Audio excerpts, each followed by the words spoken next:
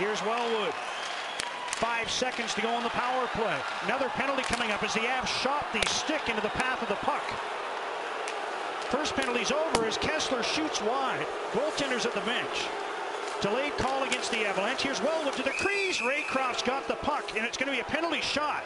Yes, it As is. the stick was played into the path of the puck, and the Canucks are getting a penalty shot here and a chance to tie the hockey game. In the meantime, Pavol Demitra has a chance to tie the game. One-on-one on Raycroft. Here we go. And he does go way out wide to the right. Dimitra cuts to the middle now. Dekes, and he's stopped by Raycroft as he tried to roof it on the backhand. Good move, but Raycroft was just better.